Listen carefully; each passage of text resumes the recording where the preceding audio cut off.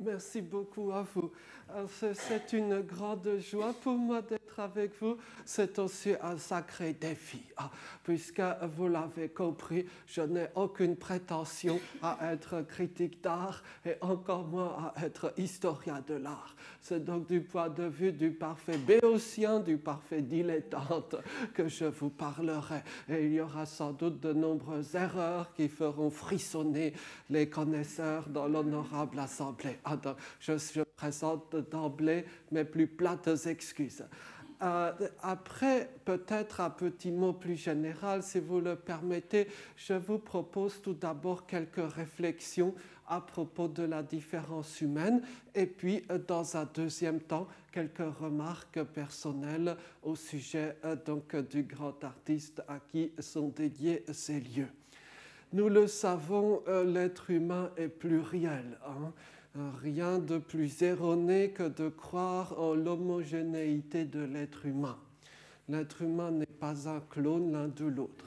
Par une étrange aberration ou peut-être par un singulier développement, pour rester plus poli, euh, de la pensée, notamment au XXe siècle, on a réservé la question écologique à la seule nature non humaine. Je m'explique la thématique, par exemple, de la biodiversité et de la préservation de la biodiversité s'applique, nous le savons, par exemple au règne végétal, au règne animal, c'est-à-dire pour être plus concret, à telle ou telle espèce de plantes, d'oiseaux, d'animaux, euh, Dieu sait tout.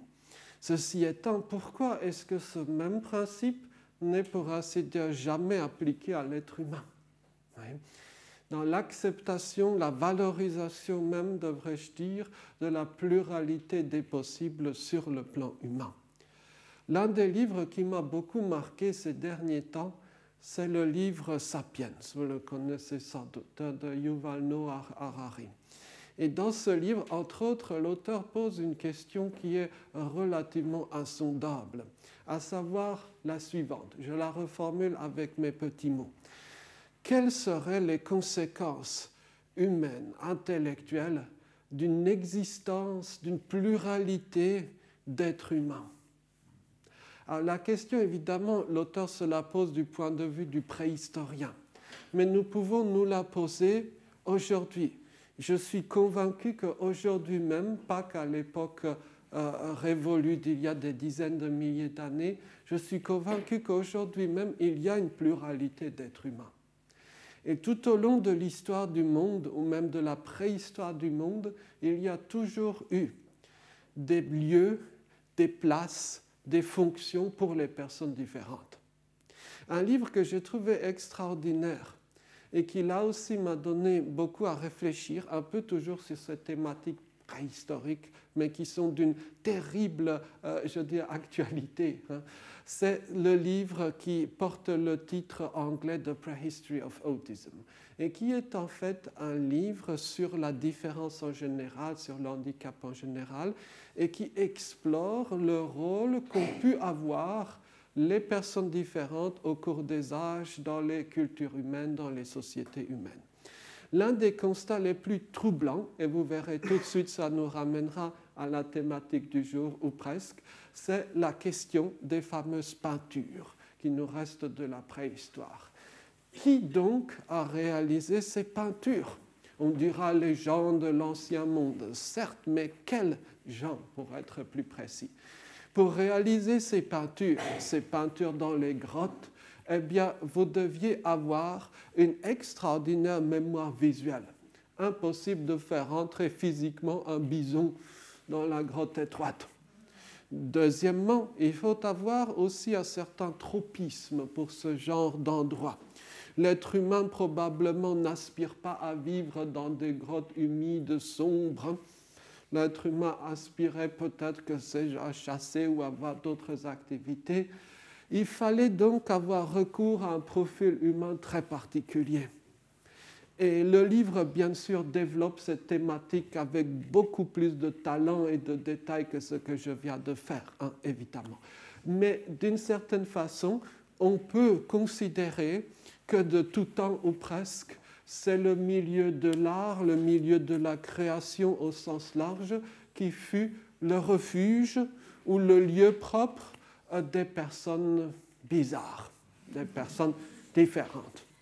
Ah, il y a mille et une façons d'être bizarre, hein, rassurons-nous. Hein, euh, mais je pense que peut-être, contrairement à certaines activités extrêmement normées, économiquement normatives par exemple, eh bien le milieu de la création peut, dans une certaine mesure du moins, représenter un échappatoire pour un certain type de profil humain. Quand je dis un certain type, en fait il y en a plusieurs de ces types. Il y a évidemment, nous en connaissons beaucoup d'exemples, certains grands artistes qui avaient leur spécificité, mais qui d'une certaine façon n'étaient pas suffisamment bizarres pour résister aux attraits et au charme du monde. Je pense à ces nombreux artistes qui ont eu une très très belle production, mais qui un jour ont été comblés d'honneur et qui ont été tellement valorisés sur le plan social que leur créativité a, pour ainsi dire, disparu.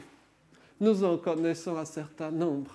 Ah, évidemment, c'est gênant de citer des noms, hein, euh, mais néanmoins, c'est même un cas tout à fait fréquent. Et parallèlement à cela, il y a un certain nombre d'artistes, un certain nombre de créateurs qui sont, si j'ose dire, suffisamment bizarres pour rester totalement insensibles aux gloires, aux fortunes du monde. Et quand bien même ils les ont ou ils les auraient, eh bien leur génie créateur est d'une certaine façon préservé. Ah, évidemment, vous voyez vers quel type d'artiste euh, je chemine. Hein. Mais avant d'aborder la, question de Giacometti au sens, j'allais dire, strict, si, si, ce mot a un sens, je vous propose tout d'abord encore une petite réflexion euh, plus générale sur la question de la différence humaine et donc de la créativité, cette fois de nos jours aujourd'hui. Alors, nous le savons, hein, c'est un cliché que l'on nous redit sans arrêt dans les médias. Nous le savons, il y a beaucoup de gens autistes qui sont informaticiens. Ça, je veux dire, c'est le cliché, c'est, je dirais, même le fantasme médiatique. Mais ce n'est qu'une portion extrêmement restreinte euh, de la vérité. D'après des enquêtes, alors les chiffres valent ce qu'ils valent, il y aurait peut-être 10% de gens autistes intéressés par l'informatique. Cela veut dire que l'écrasante majorité, l'immense majorité des autres personnes ayant ce type de profil s'intéressent à d'autres types d'activités, s'épanouissent en d'autres lieux. Et l'un de mes sujets, je veux dire, qui, qui me donne à réfléchir le soir, et parfois même en journée, euh, c'est donc la présence de ces artistes différents dans le milieu de l'art, dans le milieu de la création. Alors, quelques exemples euh, de, autres que la sculpture avant de venir à la sculpture. Un univers que l'on n'associe quasiment jamais à l'univers de l'autisme, c'est celui, par exemple, de la haute couture, de ce type de création. Et pourtant, quand on y songe un petit instant, on remarque d'emblée le grand parallélisme, les grandes homologies entre euh, donc, je dirais, la création dans l'univers de la haute couture et le profil qu'on va dire de chez nous pour simplifier. Donc euh, on va dire autiste, hein, bref, pour être, je dirais, large. Hein, voilà.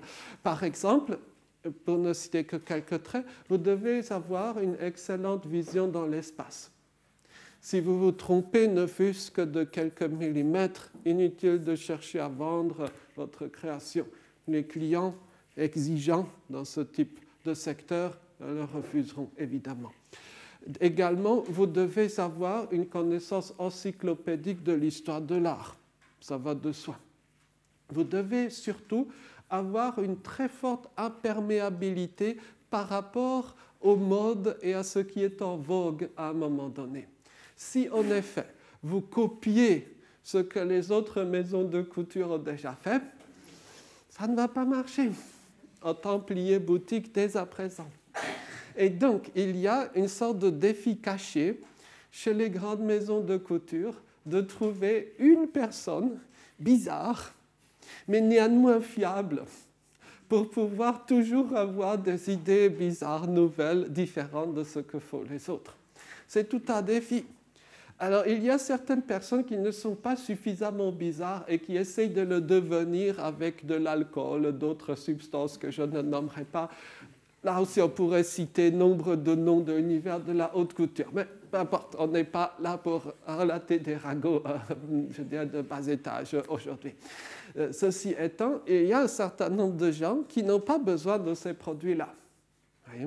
Et trouver ce type de personnage, c'est d'une certaine façon, pour une maison de couture, le Saint Graal. Voilà. Alors, évidemment, je suis toujours un peu gêné pour citer tel exemple plutôt que tel autre, mais on peut outer, comme on dirait de nos jours, quelqu'un qui ne s'en cache pas, à savoir donc Stark. Ah, le designer. Et il se trouve que lui et votre serviteur avons une amie euh, commune, donc j'ai une sorte de source d'information. Il ne l'a pas caché non plus publiquement. Hein. Donc euh, le fait, et il le décrit lui-même hein, dans ses interviews, que vous pouvez aisément retrouver, le fait d'avoir un profil autistique, lui permet donc d'avoir une créativité qui suit son propre cheminement et qui n'est pas une, transposition, excusez, une transposition de ce que d'autres artistes peuvent réaliser. Et évidemment, d'autre part, cette créativité-là n'est pas liée à un horizon financier. Pour le dire plus simplement, c'est quelqu'un qui crée, je dirais, ars gratia artis, hein, donc euh, de l'art pour l'art. Hein. Ce n'est pas quelqu'un qui créerait sur commande hein, et qui chômerait entre deux commandes. Là, déjà, c'est une différence de fonctionnement et qui a des effets majeurs puisque ce bouillonnement incessant pousse par une sorte de force surnaturelle à explorer toutes sortes de supports de création, toutes sortes, je dirais, d'activités. Évidemment, on retrouvera pleinement ce trait chez Giacometti, j'y reviendrai dans quelques instants. Donc, nous le voyons, il y a, je dirais, ce profil-là, ce profil bien vivant, mais on peut toujours émettre des hypothèses à propos d'autres personnes, par exemple à propos des morts. Ah, je sais que c'est un peu vilain, mais eux ne protestent pas en général. Hein. Donc, c'est l'histoire d'un personnage que nous connaissons toutes et tous. Hein d'un personnage qui n'était pas forcément très sympathique. Et à titre personnel, je n'ai pas forcément de, grandes affinités euh, avec lui. Mais euh, donc, à, certains personnages, hein, vous devinerez assez rapidement à qui je pense. donc, euh, si vous avez de grandes lunettes noires, on dira que vous êtes coincé ou autre. Mais si vous êtes un grand couturier internationalement reconnu, on dira quelle classe artistique. Si par exemple vous avez donc des cols de chemise hauts extrêmement serrés, vous ne serez pas le plus populaire au collège-lycée, hein, c'est certain. Mais si vous êtes tenu pour un grand artiste internationalement réputé, alors là, personne n'osera émettre de critique. Si votre vie affective est entièrement consacrée à Choupette, vous passerez pour mentalement dérangé, mais si vous êtes connu, tout le monde vous respectera. Voyez. Et est-ce que vous avez déjà écouté, certainement oui, des interviews de Lagerfeld, puisque c'est de lui qu'il est question? Ah, Vous direz, il parle bizarrement, non? Ah, Vous direz, oui, il est allemand. Mais est-ce que vous avez déjà écouté des interviews de lui en allemand? Ah, C'est pire encore. Donc, dès lors, c'est une histoire bien connue c'est l'histoire d'une personne, on va dire, différente qui cherche à gommer sa différence par le biais d'un déplacement géographique. Ah, évidemment, le décalage culturel entre France et Allemagne n'est sans doute pas suffisant pour gommer totalement ces spécificités.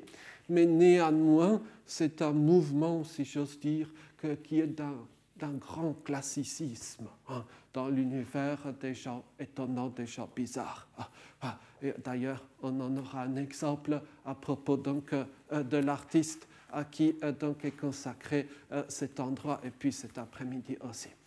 Également, donc, si vous le voulez, on peut prendre un autre dernier petit exemple avant d'arriver à l'univers de la sculpture en sens exact, qui est probablement l'un des artistes, si j'ose dire, les plus emblématiques et les plus connus du XXe siècle, mais il n'est pas forcément connu sous cet angle.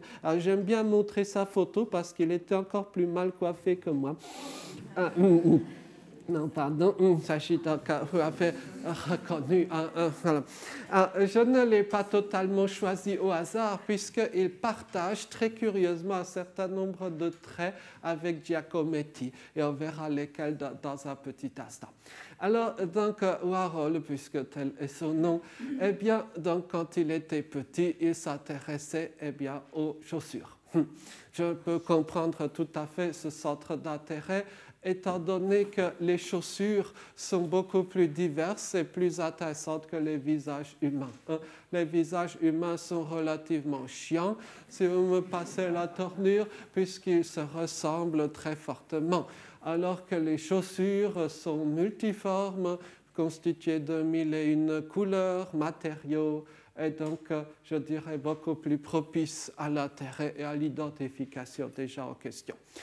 Euh, si vous me passez euh, cette petite anecdote personnelle du temps regretté et béni euh, de, mon enfance, lorsque mes parents me demandaient de les prendre en photo, c'était évidemment leurs pieds que je prenais en photo. Quand il n'y a pas de spécification, eh bien, il faut s'attendre à des résultats surprenants quand on a un enfant surprenant à la maison, justement. Mais donc, le petit Andy, le petit Varol, eh bien, a grandi et petit à petit, il est devenu fasciné par les mille et un supports publicitaires que l'on trouve par exemple à New York ou dans les grandes agglomérations américaines. Ces néons qui clignotent, ces slogans publicitaires. Ah, il semblerait que les enfants, à partir d'un âge relativement tendre, fassent la différence de façon spontanée entre une publicité et par exemple un programme télévisuel, s'il en reste encore entre les publicités. Mais euh, cela pourrait ne pas être vrai s'agissant des enfants autistes.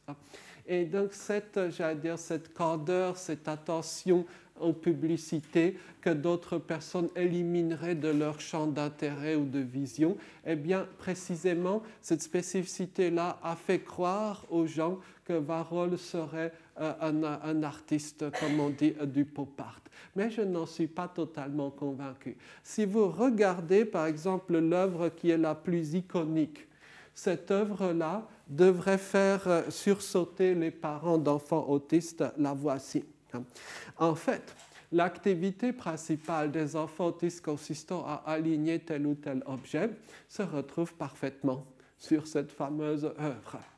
Soit dit au passage, le, cher, j'allais dire pauvre ou cher, je ne sais pas quel terme préféré, le, le, pauvre Andy Warhol a eu beaucoup de problèmes du fait de ce type de création puisque évidemment c'était considéré comme une objectification hein, hein, de la personne et singulièrement euh, donc, de cette euh, femme que voici.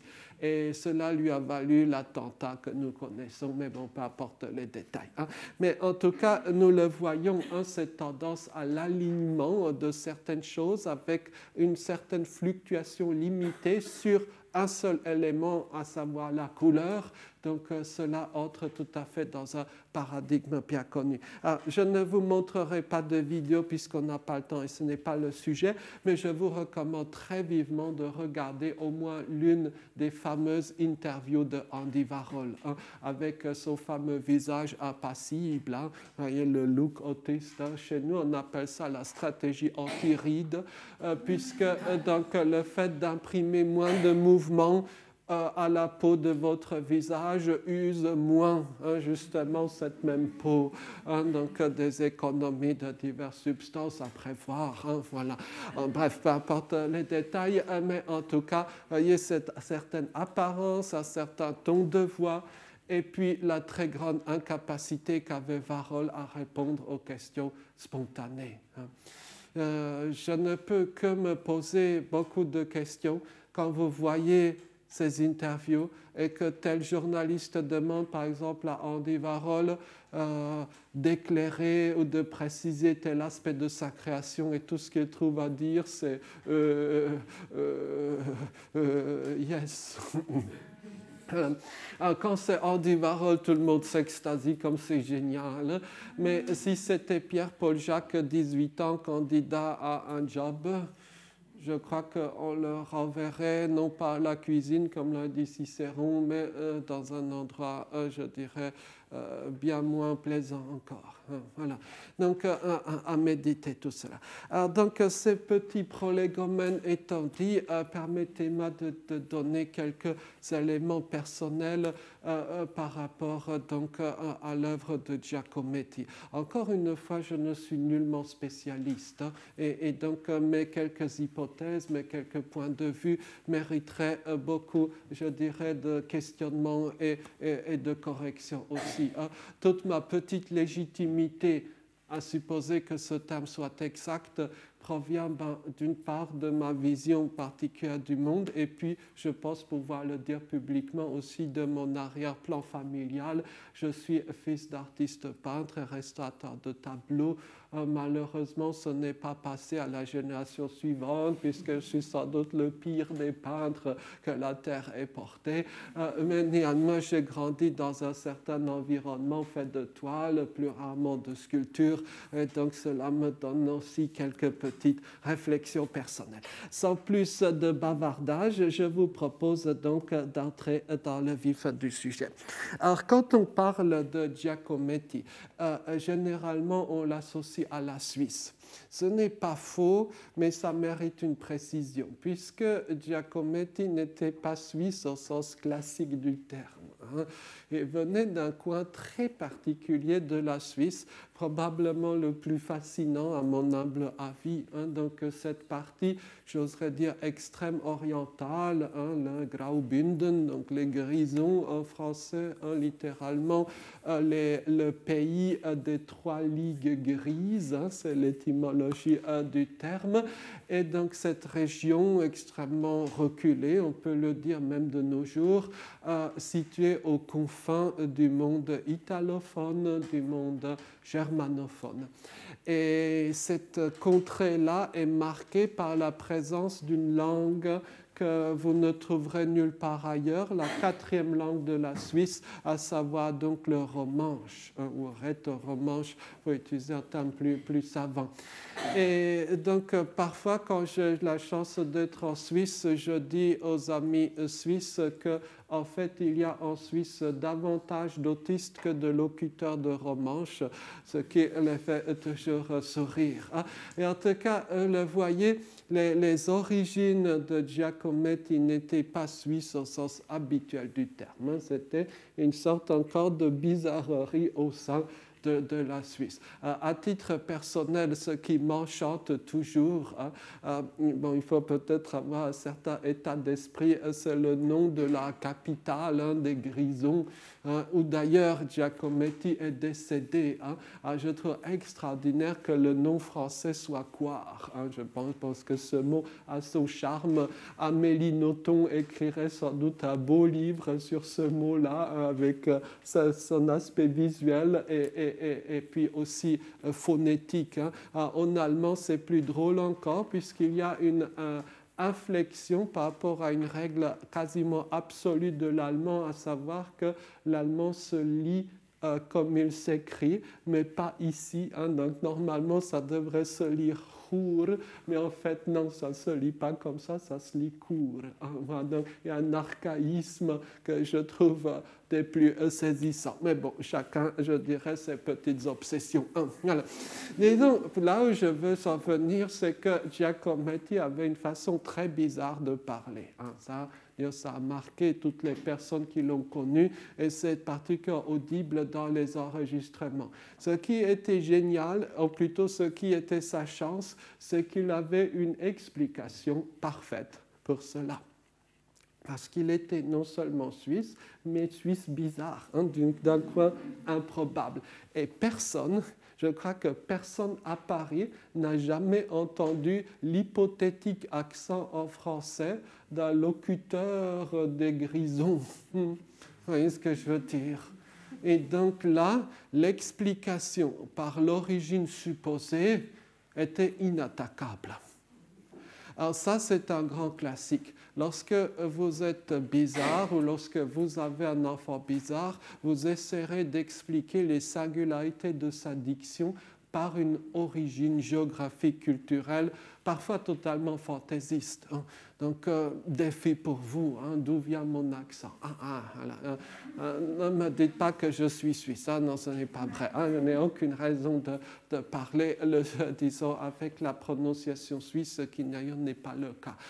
mais euh, d'une certaine façon, les singularités cognitives des gens et en particulier des gens autistes, souvent trouvent leur transposition au niveau euh, donc, de leur diction.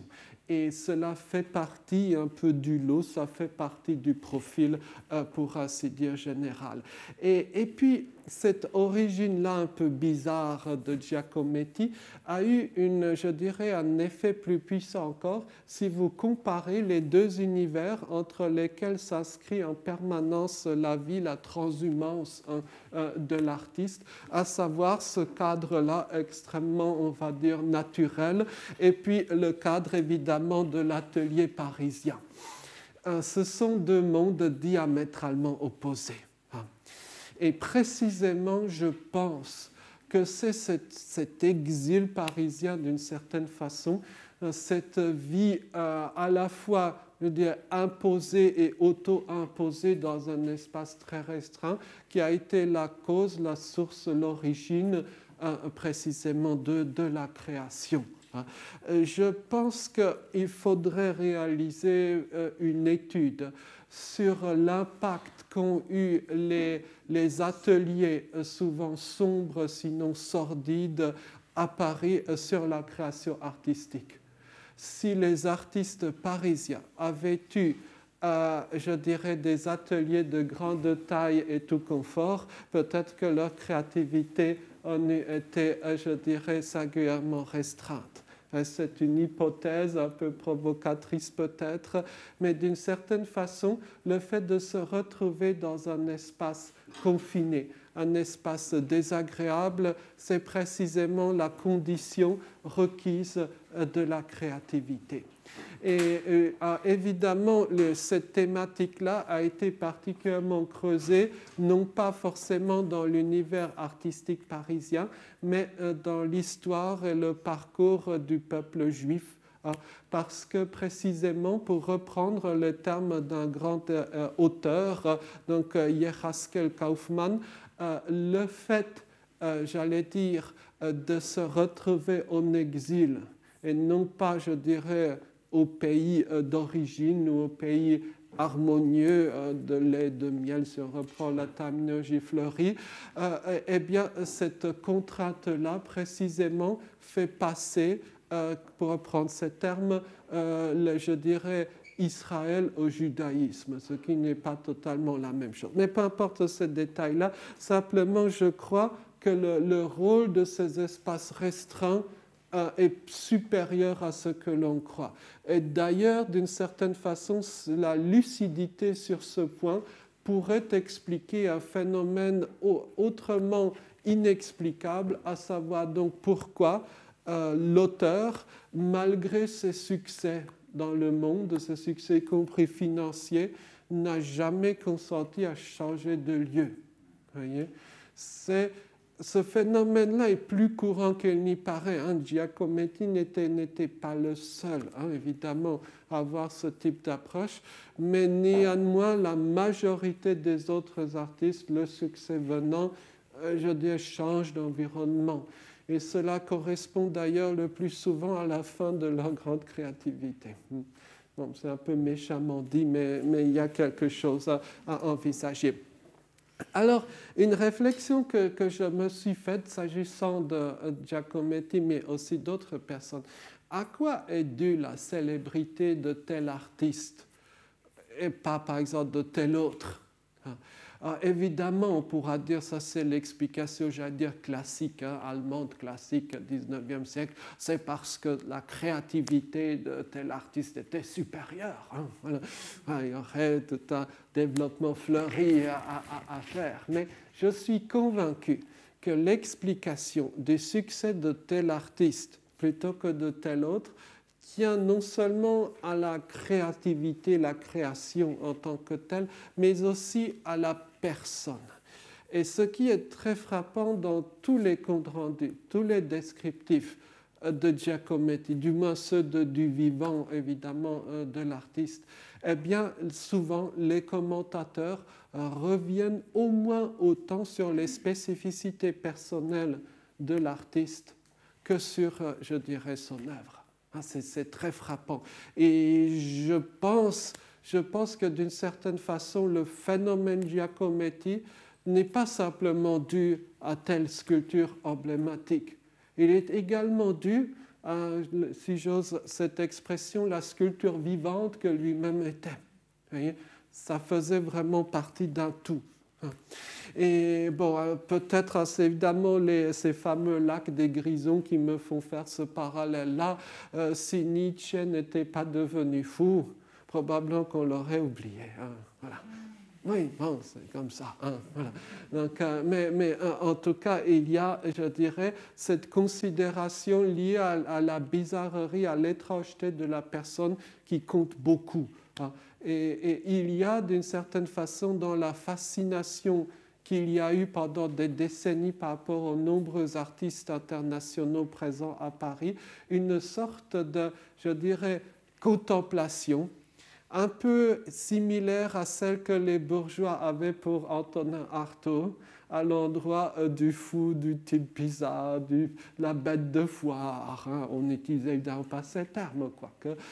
Mais il y avait quelque chose presque, je dirais, du zoo humain, hein, consistant à voir euh, tel personnage bizarre qui était dans un lieu bizarre et faisait des, trucs bizarres. Hein, Donc, euh, et, je, pense aussi, j'ai été beaucoup frappé de, de, lire tous ces textes, les gens qui, qui étaient éblouis euh, par, je dirais, la procédure, le surgissement créatif de Giacometti, hein, et qui consacrent plus de pages dans leur relation sur euh, leur euh, expérience Giacometti, qui consacrent plus de pages au processus lui-même qu'à l'œuvre finie. De ces pages-là où on voit comment par exemple l'artiste criait, pleurait, frissonnait pendant des jours et des jours avant de créer par exemple tel ou tel portrait. Hein. Je, pense que, que, ce phénomène-là hein, de la spécificité humaine est indissociable hein, de, ce que nous, nous appelons aujourd'hui, euh, j'allais dire, Giacometti. Alors, cette fois de façon je dirais, si on continue notre cheminement, cette fois de façon plus peut-être spécifique au petit monde de l'autisme, l'un des clichés, l'un des livres emblématiques hein, du petit monde de l'autisme, c'est celui que j'essaie de mettre ici en couverture, donc d'Oliver Sacks. Hein, C'était un, journaliste américain, je parle au passé puisqu'il est, là, est décédé. Et le titre de l'ouvrage, c'est euh, donc l'homme qui prenait euh, sa femme pour un chapeau. Voilà. Alors, euh, cet ouvrage-là, je pense qu'il est relativement bien résumé par son titre, hein, autant que ce soit possible, évidemment, euh, à savoir par l'idée euh, donc que la personne autiste peut avoir une toute autre perception de l'humanité des autres et une autre vision également des objets. Avec, nous le verrons avec beaucoup plus de détails dans quelques instants, une bien plus grande segmentation, une bien plus grande fragmentation des objets en détail et avec certains phénomènes, certains effets euh, qui, dès lors se déploient. Alors, il y a plusieurs versions, vous me corrigerez si je dis des âneries, il y a plusieurs versions donc de l'œuvre La mère de l'artiste. Il y en a un certain nombre. Hein. J'en ai mis une, mais les autres sont peut-être encore plus évocatrices. En tout cas, euh, c'est peut-être l'une des, œuvres assez emblématiques de l'art du portrait façon Giacometti. En quelques mots, comment caractériser ce type d'œuvre Vous remarquerez que, premièrement, il y a une très grande économie de couleurs. Hein. On pourrait dire qu'il y a presque un camailleux. Hein à savoir donc qu'il euh, y a un évitement peut-être d'une multiplicité de couleurs. Hein. Pourquoi?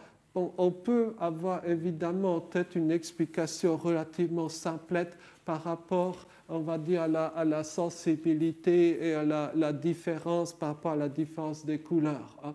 Et c'est souvent, souvent présent euh, dans, euh, dans l'univers, on va dire, de la création de, des personnes autistes. Je, je, brûle en disant ces phrases de donner des exemples, mais ce serait peut-être trahir des amis qui ont réussi à avoir un job dans certains milieux cotés, hein, donc je m'en abstiendrai, surtout face à la caméra. Hein, mais bon, passons.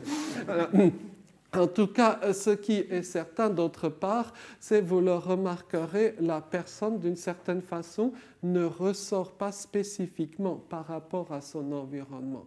L'environnement est pourtant très simple, hein, il n'y a pas mille et un détails, euh, mais vous remarquerez que la personne fait partie, euh, pour ainsi dire, d'un tout. Hein. Et là, c'est fortement en contraste par rapport à, je dirais, la vision non autistique, donc majoritaire, qui fait ressortir automatiquement les personnages. J'ai mis un peu par hasard cette couverture euh, euh, de bande dessinée euh, où on voit le phénomène, donc le grossissement extraordinaire du personnage et puis le grossissement de la tête. Hein, voyez, ça c'est un truc je dirais, non autistique. La, tendance à faire grossir les têtes des, des gens, des personnages, et, d'une certaine façon, le spectateur ou le lecteur ne se rend même pas compte de la supercherie parce que spontanément, l'être humain tend à toujours grossir certaines parties de la personne en face en vue de ça, de la reconnaissance de l'autre, etc. Hein. D'où d'ailleurs ces phénomènes, par exemple, de, comment on appelle ça, de bidule, donc où, le personnage lui-même n'est qu'une boule. Hein. Et, ça paraît naturel, quoi.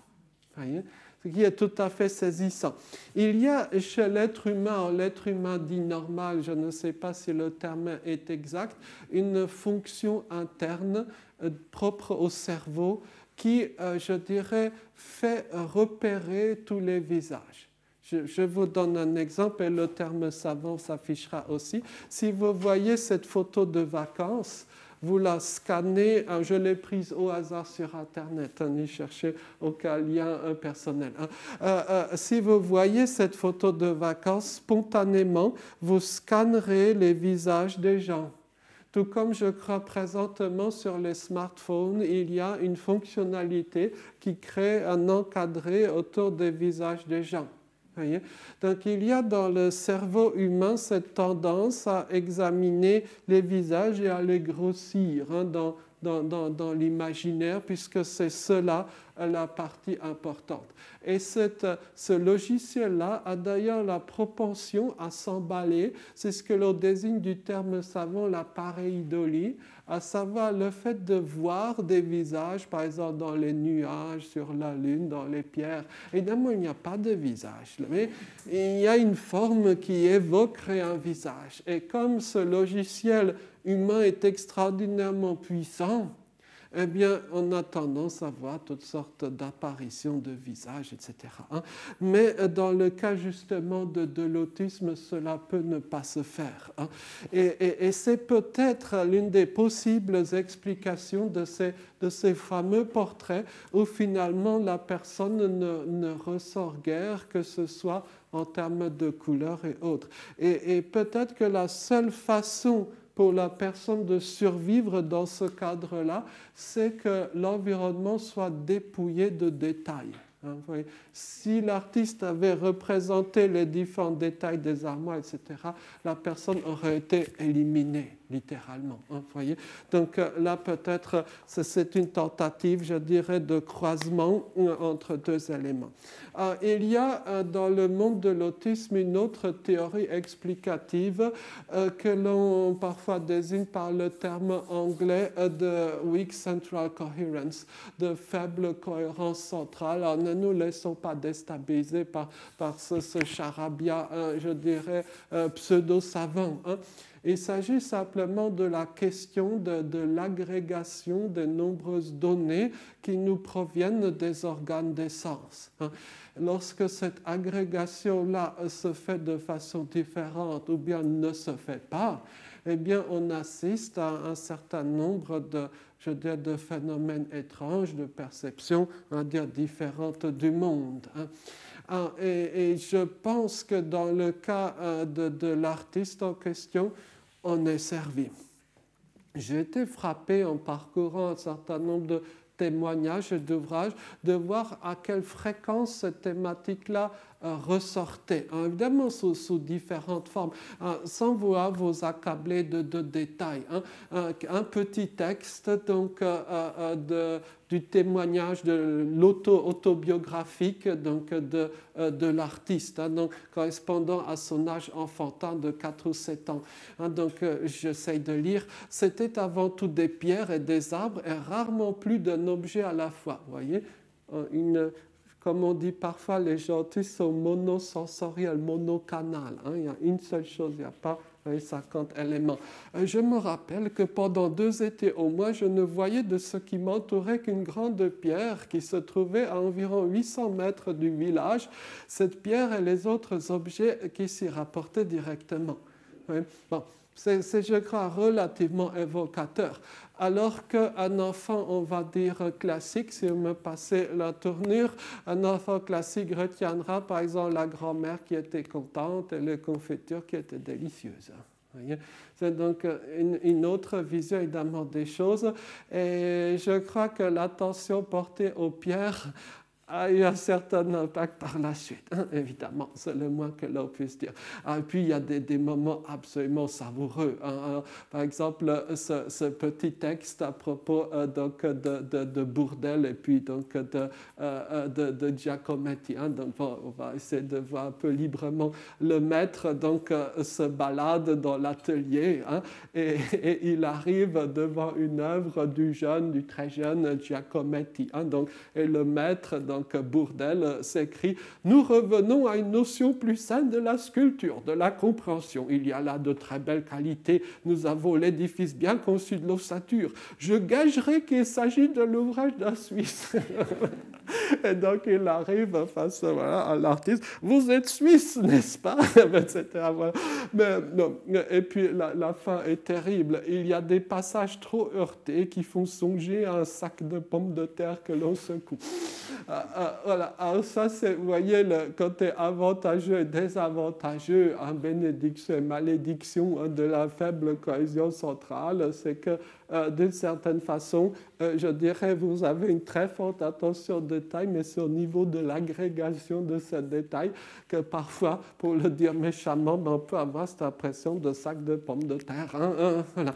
bon, avoir, hein, je pense que euh, l'artiste en a joué, d'où d'ailleurs la, surface toujours extrêmement rugueuse, ou presque, du moins de, de, ces sculptures les plus connues. Enfin, après, peut-être un élément plus perturbant, mais qui est parfaitement, j'allais dire, dans la même ligne, hein, ce petit témoignage hein, donc, euh, d'un autre, je dirais, ancien camarade, collègue de, l'artiste. Je le revois à l'école des beaux-arts de Genève, dans l'atelier du père Estopé, où il avait son chevalet près du mien. Une assez forte fille, un peu bouffie, loulou, posait le nu. Suivant la routine, nous devions mettre en place l'académie entière, tête, bras et jambes. Giacometti, lui, était contre. Il prétendait, comme il avait raison, ne faire que ce qui l'intéressait. Un côté têtu, bref, voilà. Sur sa feuille de papier ingre et à la grande irritation du professeur, il s'obstinait à dessiner gigantesque l'un des pieds du modèle. Ça vous rappelle quelque chose, non? Bref, comme quoi hein, on retrouve quand même. Après, évidemment, l'explication par la Suisse est un peu commode, mais je ne pense pas que les Suisses fonctionnent comme ça, hein, du moins les Suisses majoritaires. Hein.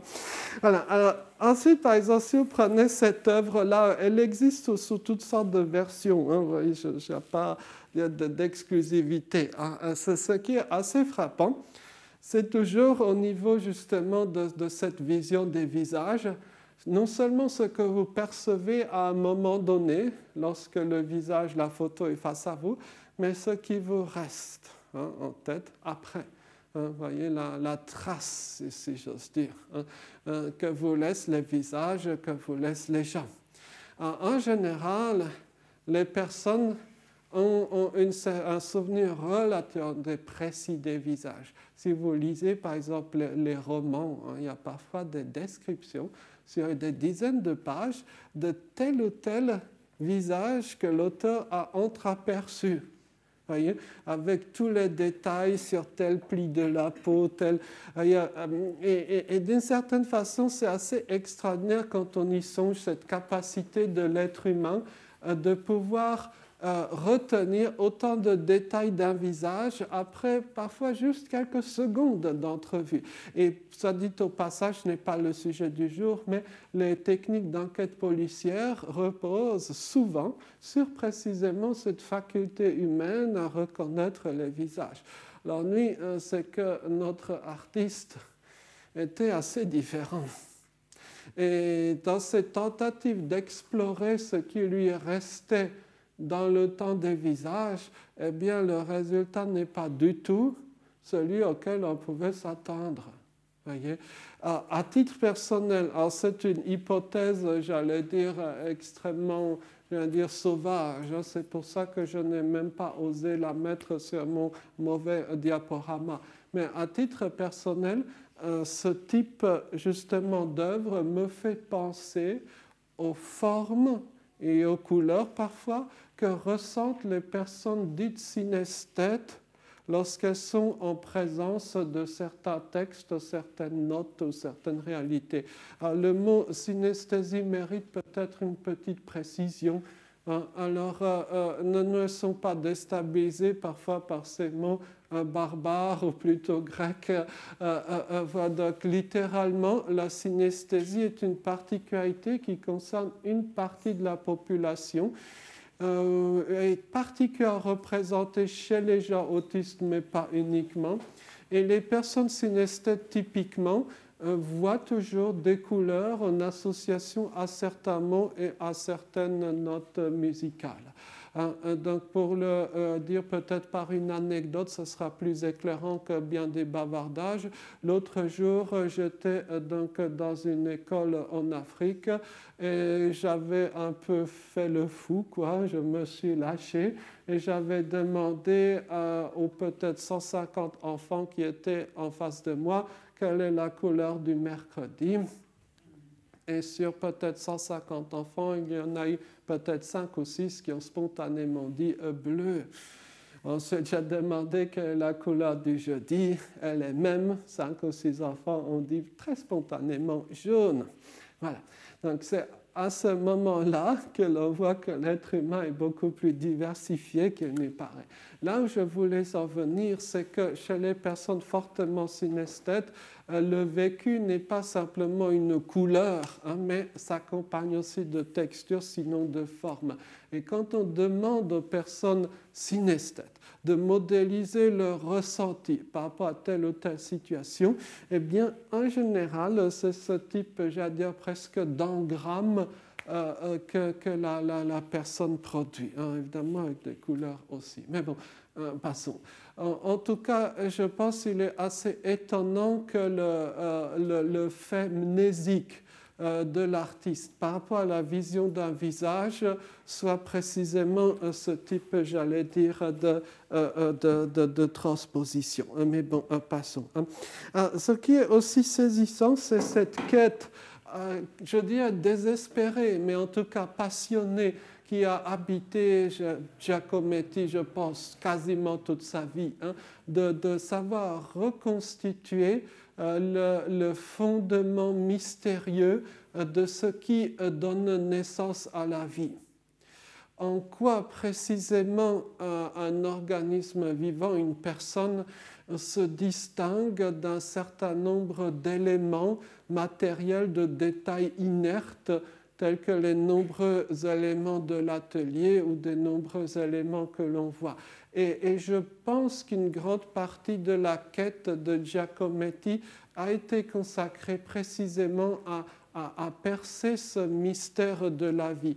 Ce qui m'a beaucoup frappé, c'est par exemple ce, récit du crâne. Hein, voyez euh, donc, euh, c'est une citation un peu libre hein, où on voit quelle énergie il a consacré à certains des détails du crâne précisément pour essayer à la fois de saisir la différence entre, je dirais, le crâne mort et puis euh, l'être vivant, pour ainsi dire, mais aussi euh, de peut-être par un geste digne quasiment de Pygmalion, euh, l'animer, le, réanimer. Je ne sais pas quel terme est préférable.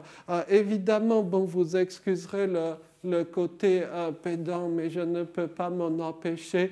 je suis militant associatif, mais mon métier initial devait être philosophe. Hein, quand on est paumé dans la vie, on fait philo. Donc j'ai des résurgences par moment. Évidemment, ce, phénomène-là, ce moment-là me fait penser à, l'histoire ou, à la fable qu'on appelle des, ossements desséchés d'Ézéchiel. donc cette histoire, pour la, dire un peu, un peu sommairement, où donc la contemplation poussée euh, euh, je reviendrai sur mot contemplation, la contemplation poussée des ossements desséchés euh, fait que ces mêmes ossements, veux dire, s'animent, se couvrent de chair, etc. alors, justement, contemplation, ce n'est pas le mot utilisé. Hein, le mot utilisé est, celui-là, hein, donc hinave, qui est donc une forme on va dire particulièrement, on va dire factitive euh, euh, du verbe donc faire aller quoi, ou faire advenir. Hein. et il y a véritablement cette idée, on va dire, de, que la contemplation, on dire pousser, euh, ce travail sur justement l'ossement desséché, Évidemment, le texte biblique est d'une perspective théologique, mais ce n'est pas forcément nécessaire, si j'ose dire. Euh, ce travail, cet attachement à, l'ossement desséché suscite justement, d'une certaine façon, la, la, renaissance de la vie.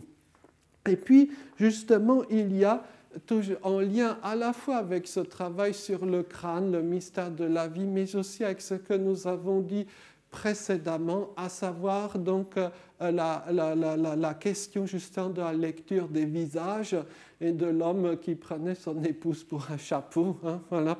Et il y a, euh, je dis en tant que conséquence logique, la grande question, la grande énigme de la tête. Hein. Et ça, je crois, Giacometti est probablement le sculpteur qui a consacré le plus d'efforts, le plus d'années à caractériser ce que les autres considéreraient comme évident, à savoir ce qu'est une tête.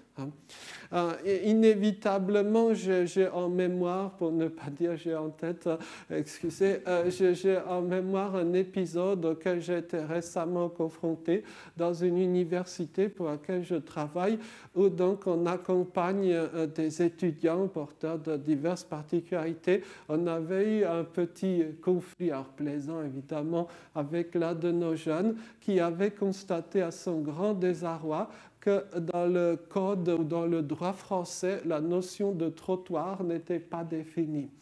Et donc, il avait écrit diverses lettres à des instances euh, que vous imaginez euh, sur euh, donc, la scandaleuse imprécision. Et, et, il avait une réponse, je crois, de la Cour d'appel ou quelque chose comme ça.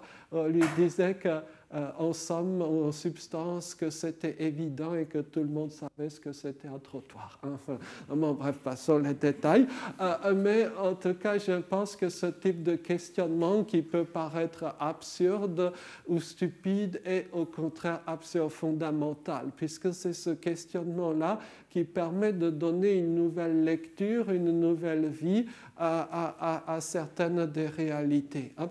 Alors, évidemment, on peut, et, les, experts auraient, je dirais, de, très belles pages et ont de très belles pages sur, j'allais dire, la, vision, par exemple, géométrique ou, inspirée vaguement de, certaines sculptures anciennes hein, euh, que Giacometti avait pu faire. Mais ce qui me frappe le plus à titre personnel ma déformation, je vais dire, semi-professionnelle et personnelle, c'est cette notion euh, de découplage entre précisément la tête et le reste.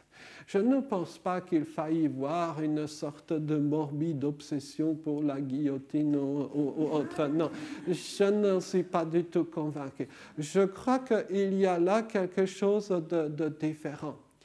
Euh, qui a précisément trait à ce que nous avons énoncé, à savoir la faible cohésion centrale euh, propre à beaucoup de gens. Ce qui a frappé les contemporains et témoins donc de l'artiste, c'est lorsqu'ils le voyaient à l'œuvre, qu'il y avait un découplage entre son regard et puis euh, donc sa main hein, qui sculptait, euh, parfois dessinait.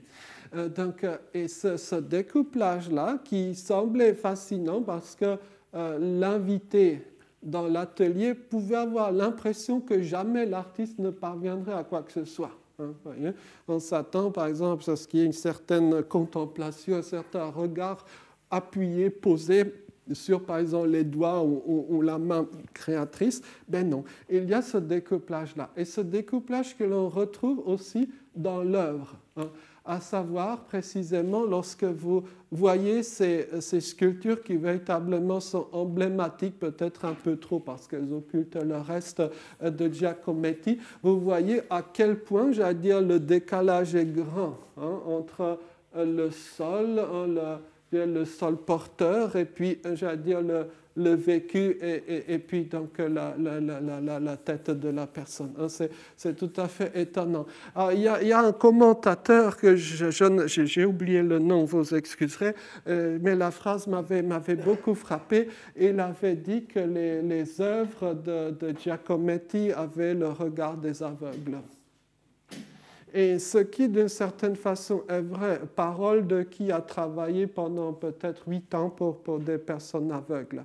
Euh, c'est vrai et ce pourrait ne pas être dû au hasard. Et, donc je me demande, ça mériterait sans doute peut-être euh, un, développement. Alors peut-être un point aussi, alors euh, peut-être évidemment ça, fait partie généralement des, questions un peu polémiques et puis euh, ce n'est pas forcément, je dirais, important que, l'œuvre soit entièrement, j'allais dire, focaliser, je dirais, sur les questions les, plus polémiques, euh, euh, euh, naguère comme aujourd'hui. Hein. Ce qui est, je dirais, assez intéressant, c'est précisément que le processus d'agrégation des éléments, comme nous l'avons vu dans la théorie de la faible cohérence centrale, ait eu un effet de très longue durée et que le processus, je dirais, d'agrégation des éléments qui constituent une femme ait pris beaucoup de temps que ce soit chez Giacometti ou que ce soit, par exemple, chez Andy Warhol. on retrouve cette idée de l'attentat. En fait, ce n'est pas totalement par hasard que je vous ai parlé d'Andy Warhol juste avant. bon, euh, euh, passons. Hein, voilà. Et, et, puis, je, je, ne, je, ne, peux pas m'empêcher, je dirais, de de mettre une sorte de, de, parallèle euh, par rapport au sentiment, j'allais dire, de terreur qui est, je dirais, relativement humain et général face à l'inconnu. Hein. Souvent, on compare, par exemple, le ressenti d'un enfant autiste à ce que ressent un étranger placé spontanément au Japon. Donc je ne peux pas m'empêcher de faire le parallèle entre ce sentiment de terreur que le jeune Giacometti donc décrivait par rapport à la présence féminine et puis euh, donc le, côté extrêmement, j'allais dire, violent euh, de, ses œuvres ultérieures. Hein. voilà. Euh, je pense, mais à ma connaissance, l'auteur n'a pas mentionné Giacometti, je pense que de Vereux ce serait fait, je dirais, une joie particulière euh, d'évoquer euh, cet artiste euh, dans peut-être son livre que je trouve euh, ce n'est pas son livre le plus connu, loin de là, mais c'est son livre le plus complet, je dirais. Hein. Euh, donc, euh, Baobo. Hein. Mais bon, c'est peut-être une, une longue, un long débat. Hein. En tout cas, peut-être comme dernière petite réflexion, parce que j'ai été trop bavard, comme dernière réflexion, permettez un mot sur le voyage.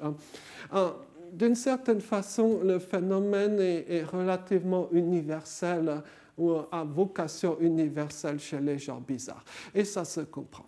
Lorsque vous êtes d'une certaine façon euh, parfaitement intégré dans votre environnement, lorsque vous avez connu le succès, Et, et, Sioran disait euh, donc que la plus grande déchéance, c'était justement le succès. Enfin, la phrase exacte était si, si ma mémoire est bonne, euh, j'ai connu euh, toutes les déchéances, y compris le succès. Je crois que c'est ça la, la phrase. donc, lorsqu'on a connu justement cette déchéance ultime qu'est le succès, hein, voilà, eh bien, l'incitation au voyage sera des plus minces, voire inexistantes par voyage, je n'entends pas, je dirais, les, excursions luxueuses en jet privé euh, de, tels personnages, euh, je dirais, connus et fortunés. Non, telle n'est pas la notion de voyage euh, exact. Le voyage véritable advient précisément lorsque la personne est étrange, lorsque la personne ne trouve pas sa place ou bien lorsqu'une catastrophe survient, mais cela revient d'une certaine façon au même. Et si vous y songez un instant, vous l'avez sans doute déjà fait, mais toutes ou presque les grandes histoires de l'humanité, ces histoires porteuses de civilisation ou qui donnent naissance à une civilisation, toutes ces histoires-là commencent par un voyage. Imaginez que, par exemple, Agamemnon ait décidé de rester dans le confort de sa demeure royale. Ou que, pour prendre un autre exemple, à peine séparé dans le temps, ou que, par exemple, Abraham, je dirais, euh, finalement, a décidé de rester dans le pays fertile qu'il connaissait plutôt que de s'aventurer dans je ne sais quel désert hein, qui lui était inconnu.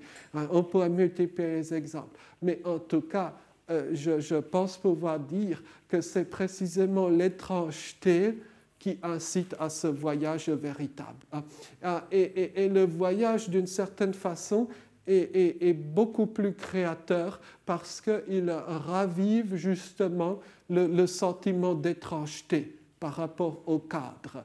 Et, peut-être que précisément l'exil dans l'atelier, cet atelier sombre dont on a parlé il y a quelques minutes, précisément que cet exil-là pouvait être assimilé à un voyage relativement permanent je ne peux pas m'empêcher de faire un parallèle entre les écrits, les textes de Giacometti qu'il avait fait lors de ses traversées en bateau vers et depuis New York, un peu avant sa mort en, 65, euh, et, donc, où, donc il décrit justement la terreur de se ressentir isolé au milieu des flots Hein, loin de la terre ferme, à tel point qu'il aurait d'ailleurs envisagé d'emprunter la route terrestre via le détroit de Bering, etc., ce qui est pure folie hein, quand on y songe. Mais euh, en tout cas, euh, vous le voyez, hein, que ce sentiment de terreur lié au voyage l'avait habité jusqu'à la fin de ses jours. Et incidemment, vous comprenez aussi pourquoi